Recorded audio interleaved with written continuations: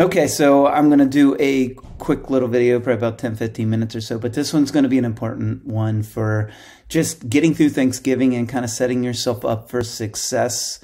Um, if you're following a plan, if you're on a plan, if you're not on a plan, uh, one of the things like Thanksgiving, and I think it kind of starts at Halloween, but going through the holidays and the holiday season right now, a lot of people really just just lose control and it, there's a lot of poor choices. And now we're getting really heavily into the holiday season. I think, especially Thanksgiving after holiday parties.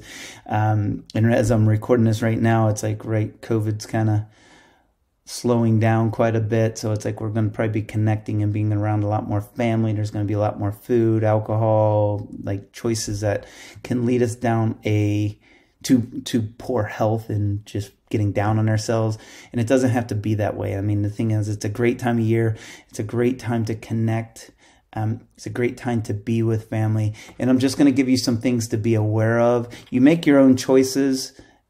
Obviously we all make our own choices and the keys. Like i just want to make i want to help you to be aware so you can make better choices for yourself um, going through the holidays, any parties. And the reality is it's not just the holidays, it's parties like this, this kind of think outside of just Thanksgiving, because I'll, I'll be focusing more on Thanksgiving right now but think birthday parties, special occasions, weddings.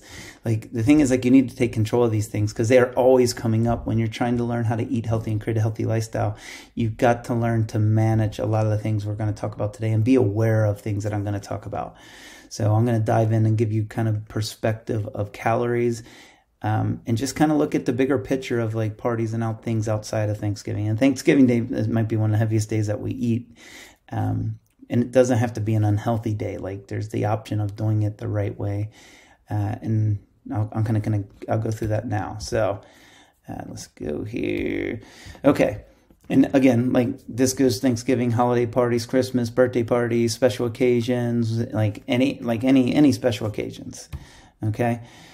So here let's think Thanksgiving. So this would be an example of a Thanksgiving Day meal. So we we got glass of wine, we've got cornbread, you got some sweet candied sweet potatoes, you got some um, green beans, um, the heck you call these things? Uh, the cram, whatever. We'll get into. I, I, got a, I got another picture of it here in a bit.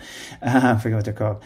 Uh, we got the turkey with some gravy on it. We got the stuffing. We got the mashed potatoes with a little bit of the gravy, and then we got pumpkin pie. So, like this would be a normal plate that I feel that the majority of people would be eating, and a lot of times, like we're even going to go back for seconds. So let me give you. Let me just give you a little thing to think about here. So of this whole plate, we got about 1,753 total calories estimated. So, and I'm, I'm going to go through each one. So red wine, you got 125 calories. Candied sweet potatoes, you got 187 calories. Green bean casserole, you got 227 calories. Cranberry sauce, 102. Pumpkin pie, 280 and I feel like that's pretty conservative for the pumpkin pie because I feel like it would it would be more, but maybe I'm wrong. But probably not. Um, gravy, you got 25 calories. That's pretty conservative too, because I know gravy can be super heavy. Um, so turkey with the skin, you got 177 calories. Stuffing, 195 calories. Mashed potatoes, 237 calories. I, I think I said I'm not sure. 198 for the cornbread. I might have said that already, but so regardless, it's like you got 700, 1753 calories, and I and I I would I I think I could say like this is probably not even that big of a plate for people. So you're adding more and then you're going back for seconds. I mean, you're easily looking at one meal like the 1700 plus maybe even 3000 depending on how much you can eat. So it's like this is how it can get away from you. So it's um you need to be aware of the caloric intake you're taking, intaking, and just of the food. And this is one of the values of making sure that you're tracking just so you can can do that. Okay. Now, I'm going to go through each one. So, turkey, you got three and a half ounces of turkey, you got 177 calories. So, in that, you got about six grams of fat, 30 grams of protein, and there's not going to be any carbohydrates. With the skin, you're going to get a little more calories and you're going to get a little more fat. Skin's where all the fat is. So, if you do add the skin with it, uh, that's turkey breast. So if you go the darker meat, you're going to get a lot more fat in it. So that's going to add more calories as well. And let's face it, um, like turkey breast is dry and usually not all that great. I can't say it's not all that great. It tastes good, but it's like compared to the dark meat that's really juicy and filled with fat and a lot more moist. It's, um, I think the majority of us are going to enjoy more of that. So, and or not, like we do get turkey breast, uh, we add a lot more gravy, which increases calories. Um, and again, my, my idea here is I want to just give you perspective so you can make better choices for yourself. And I'll kind of go over that here at the end. Got a half cup of stuffing here. Uh, 190 calories, 9 grams of fat, 20 carbohydrates, uh, and then 5 grams. I got, or we'll just say 8 grams of protein. Um, I, I, usually don't look too much at the sugar. I just will focus more on carbohydrates. All carbs convert over to sugar anyway, um, over to glucose in the body. But regardless, I'm not going to go into that right now because we'll be here all day. Um, protein, 8 grams, and then candied sweet potatoes. Like, too, like sweet potatoes are such a healthy food. So it's like um, you don't have to add the actual honey, whatever you do to sweeten them up. I, have never actually had candy. I know they're a big one at Thanksgiving. I've actually, I don't think I've ever had actually candy ones, but like this one, 255 calories, three grams fat, three grams protein, 51 carbohydrates. And one of the things, like, be aware, like, as you're going in, a lot of people, I've been doing this for a long time. A lot of people like, hey, it's Thanksgiving. Like, I don't want to be restricted or confined to have to follow anything. And you don't have to, it's your choice. But in reality, like 70, 70% whatever is overweight in this country. The obesity rate's 36. I haven't looked at the statistics in the last year, but I think around 36%. So many people, I've worked with tons of people. So many people are pre-diabetic, type 2 diabetes and one of the problems is is that mindset is the problem. So it's like going in with a plan and I'm just I'm just going to give you ideas. Like I just empower people to be able to make decisions and choices. And I, yeah, I might give you I might give you little light bulbs going off which might upset you, but the reality is is like you got to take care of your health. Um, like this time we spend here is important being healthy, feeling better. I just did a, um, I just finished up a 12 week program with a 19 year old kid that I was working with. And he was just going over like how much he's learned. He's lost 21 pounds.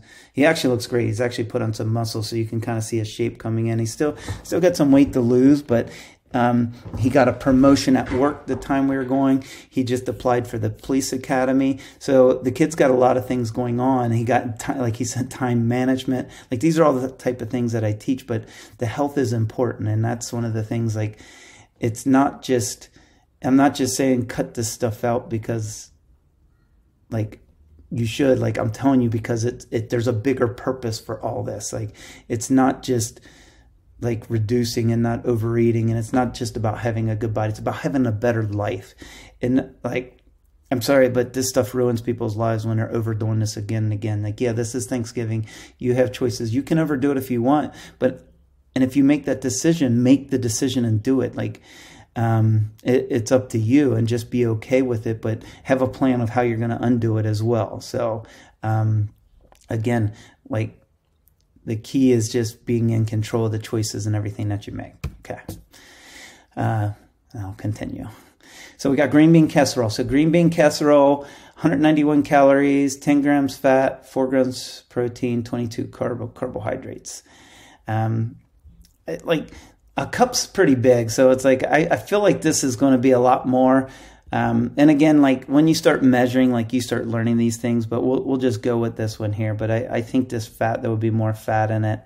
Um, and especially if, I mean, you're putting these, whatever these are. I, I know my grandma used to make this. So this is something that I, I would probably be having at Thanksgiving if, if it was there, just because it reminds me of my grandma. But, um, but it, it's again, like as you start tracking, like you're like, yeah, that's probably not right. Like you, you'll learn. But anyway, okay, cup of gravy. I know this one. This one's kind of a weird. Just I found these numbers online, so I was just finding, trying to find the for about the picture that I had there. But 181 calories. You got 10 grams of fat, 11 grams of protein. I, I don't know where the protein's coming from, so I don't think it's going to have 11 grams of protein. It's probably going to have a lot more fat in it because I know you're cooking it with the coming from the turkey fat. So it's most likely going to have a lot more fat and it's probably going to be a lot more calories. Carbohydrates, I know you do add some flour and so you carbohydrates might be right might be a little bit more. But again like you need to think about these things because um, if you're not cooking it yourself you don't know. So you just always have to guess. And that's i'm just trying to give you perspective here. And I, I am giving you pretty conservative ones that i've found. I'm not going like with the really high ones. Cranberry sauce this is the one i can think of the name. Um, a cup of this 110 calories 28 grams of carbohydrates. Um, and again like when you start tracking like a cup of that, I mean, that would be a huge portion of that. So it's like, I, am thinking it's going to be a lot more carbohydrates most likely, but I don't, I don't know. But because they're adding sugar to it and a cup's a pretty big amount. So, but regardless, we'll go with what's there. Um, cornbread, 150 calories, 3 grams fat, 3 grams protein, 28 carbohydrates. Um, wine, you got a five ounce pour, about 120, 125 calories. And I do drink my wine, so I do get that. Now, this one might, if this is confusing to you, the way that I treat train people, because I, I track calories based on macronutrients people are eating, um, and I have them track the alcohol is all carbohydrates. Alcohol actually doesn't follow with fall within macros, car, fat, uh, protein, carbohydrates, and fat. That's where I get my calorie numbers from. Alcohol has its own calories, so we just take the total calories of alcohol. We'll divide that by four, and that will give us the total carbohydrates. So that's how we do that. So if that one's confusing, that's how that number comes up. Okay, pumpkin pie, slice of this, 323, uh, 13 grams of fat, 5 grams of protein, 46 grams of carbohydrate. So, um, and I mean, how many of us are having two, three slice, slices? So it's like these things add up. So, I mean, the amount of calories that we can intake on Thanksgiving can just be excessive. Okay, so now how do you stay on track? How do you, or how do you not overdo it? So, um, I forget what my next one here is. Yeah, plan. So plan what you're going to do. Planning and preparation are always key to be successful. Uh, like as I train people, uh, it's it's everybody. Every time something's coming up, it's like you need to plan and you prepare for what you're going to. And I help them kind of come up with plans and ideas for what they need to do. That's what I'm trying to do here with this video that I'm going to be sharing with everybody. But um, planning and preparation are key. And it doesn't have to be perfect. Like the, a lot of times like we come up with this plan and we think like hey it's not going to be perfect. Sometimes we just completely screw up and don't follow the plan at all. And it's okay. Like the thing is like it's always there for learning and you got to just reflect and figure out. But like you have to plan and prepare what you're going to do ahead of time. Um, and like if you're really committed and you're on it you're going to follow your plan and you're going to do it and you're going to have a great time. And like parties and Thanksgiving, wedding, like all these things that I talk about, like they're kind of the juice of life. They're great things. It's great to sit down and have connection with people as you're having food. Like the other night, like with the family, Sunday night, I, I cooked ribeye, ribeye steaks. And I, I usually overdo it. I usually cook a lot and I usually end up having a lot. I love ribeyes. Um, but I had a ribeye steak um, and I end up going to the store and buying a couple. I got potatoes. I made the so I made some little French fry things for the kids. I made a little mix of potatoes, and I and I actually just did small amounts. And then I decided only to cook one of the ribeyes, which was about a pound. So I just had a small piece of it. I gave a small piece to my wife, and I gave some pieces to the kids. Uh, and it ended up being a great meal. And I actually had some other, I had some broccoli. So it was, it was a good, healthy meal. Not overdid it. It wasn't going to probably four or 500 calories, whatever. But one of the things we did is like when I was walking out, I saw a sample cheesecake little platter and it was it was like six bucks, just a little thing, little tiny pieces of cheesecake. Actually, I didn't look at the calories, so I didn't track that. Oops, I'm guilty. Um, but we sat and like we had dinner. It was kind of nice and warm outside. We had dinner outside, and it was we end up like I, I surprised him with cheesecake because I didn't tell because usually I don't buy that kind of stuff. Like we'll have it on time time time. My wife will generally get it more than I rarely ever buy it. So it was like I hid it in the fridge and I'm like I got something I brought out. So it's all excited. We're eating like these little small and we all just had one piece. But it was a great it gave me a different experience like with having sugar and dessert after a nice meal that wasn't over full because fullness will kind of bring your energy down but and then we connected and it, it was a great experience. And this is what the holidays are about. This is what the wedding, I mean, you can have that connection, but it's like you just got to go in mindfully with a plan and be prepared so you can make better choices. Okay.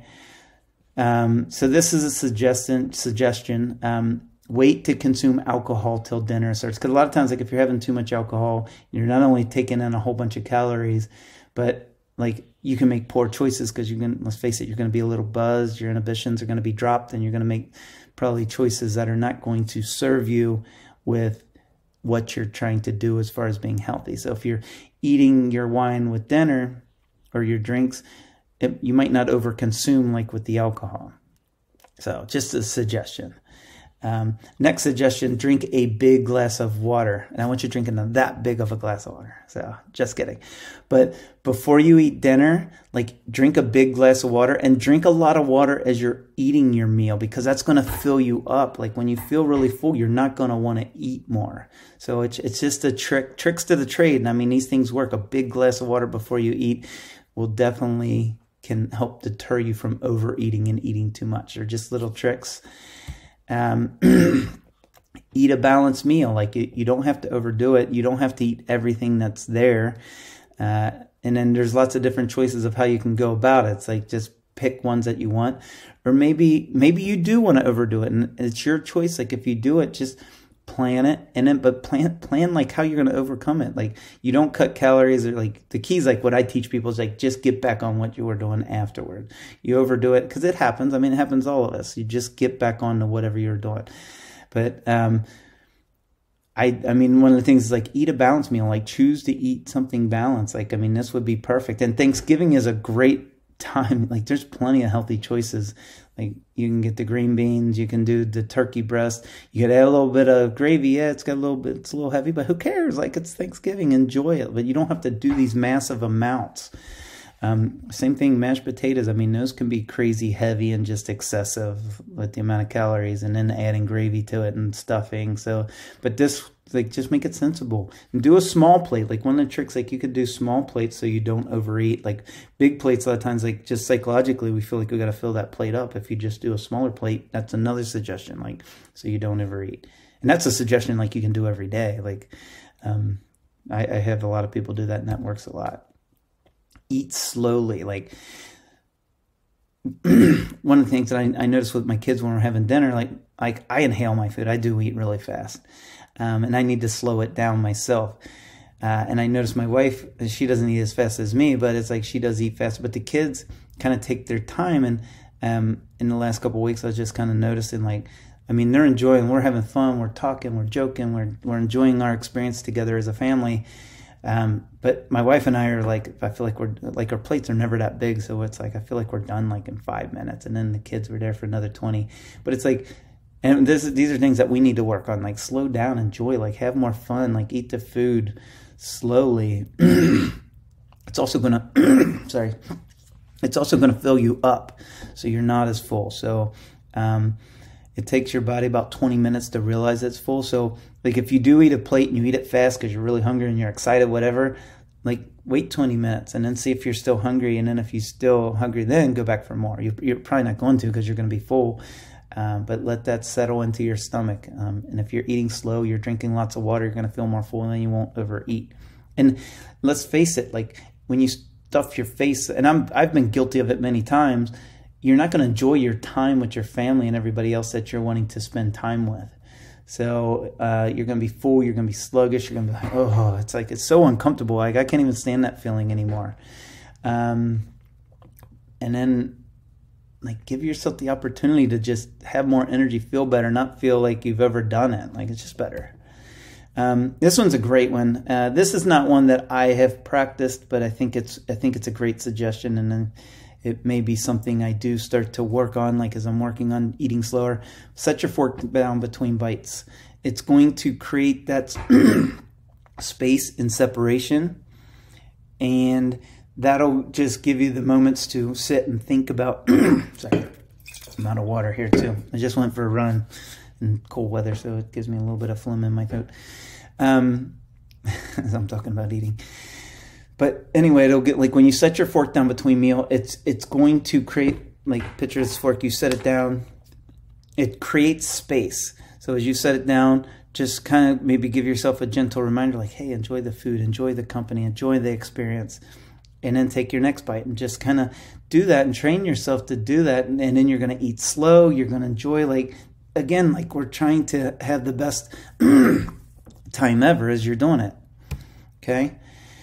And it was like this is just a quote that i found on on online here but it's like right like after thanksgiving regardless of party whatever it is like just rise up start fresh. It's a new day like just because you may have ever if you do ever do it like it's okay. Like you just get right back on to being healthy. You just get right back on to living healthy and being. You don't beat yourself up. You don't get down on yourself. You don't have to go do 30 hours of cardio the next day, even though there's not 30 hours in a day. Uh, and then you don't have to starve yourself because that's just not not not smart.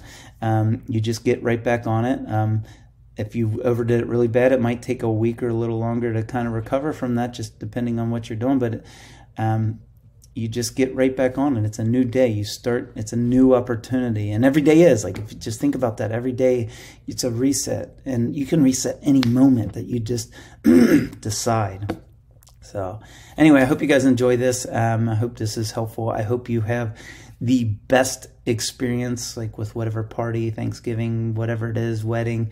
Um, and i hope this helps you to create better health and feel better. So have an awesome day.